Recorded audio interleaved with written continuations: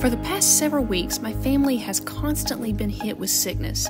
My son Palmer at one point was rushed to the ER and admitted to the hospital for a few days due to strep A bacteria in his blood.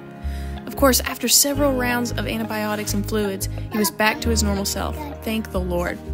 Sadly, because of all the sickness our family has been hit with, I got behind with my Art with Miss Ellis YouTube videos. So, because of this, I plan to take some time off and catch up. Be looking for a continuation of my space series coming back for the 2022 to 2023 school year.